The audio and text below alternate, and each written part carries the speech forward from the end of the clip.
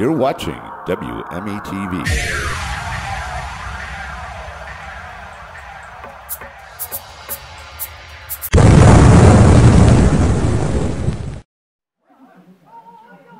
Hey everybody, this is Ty with WME TV. We're rocking out backstage, 80s in the Park 2014. I should call it 80s in the Mud. It's been freaking crazy. Rain, mud, but you know what? We got some freaking troopers here that totally just rocked the stage. Killer Dwarfs all the way down from Canada. It's freaking brutal heat, but they freaking dealt with it and blistered this freaking crowd. This crowd will not forget this show. That's for damn sure. How did it feel to be up there on that stage in all this freaking heat? Uh, it's a dry heat. No, it, it was fun. We had a great time. Uh, we love uh, coming to Florida, and uh, like I was uh, telling the people, uh, I grew up in Jacksonville. I am Canadian, but I grew up in Jacksonville, Florida. So I feel like this is my, you know, second home kind of thing, right? So you felt like it was a coming home thing, yeah, man. It was, yeah. Um, Well, you know, there was not. It was kind of an early show, but I'll tell you what, those the, the people, the people that were here um, were not disappointed, and they're really happy to see. It. I know I was for a fact. I mean, I didn't think that I'd ever get a chance to see you guys because it's not like a lot of bands come to Melbourne, Florida, you know. So thankfully we got this. We got the Runaway Country in March. I'm not a country fan. I am a metal fan. I'm a rock fan. Um, so it was really great to see you guys.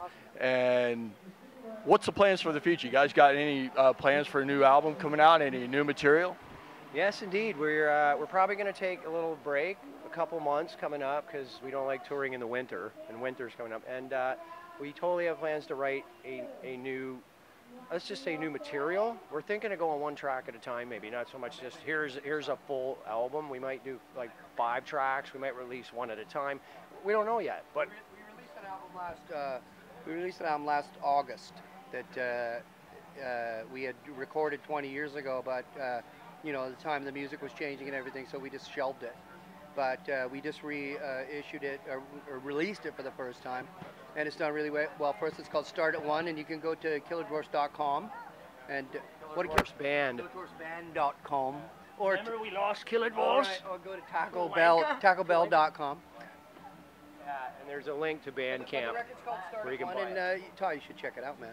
Absolutely, I will. Um, I've been a fan for a long time, and it was really great to see you guys here in Melbourne. I hope you have a tour plan to come back because you know you're always welcome here. love to come back. And we've got 80s in the Park again this time next year. So, I mean, we've got some awesome bands coming up. But I tell you what, the highlight of my day so far has been seeing you guys finally Thank you, man. finally Great. and having you on our show wmetv.com and taking the time out to talk to me is freaking awesome i hope you guys plan on coming back and it'll be great to see you um, any final rock and roll words you want to say to our people We just love you guys. That's it. Turn the heat down. We got company coming over. Go dunk, get some boots, man.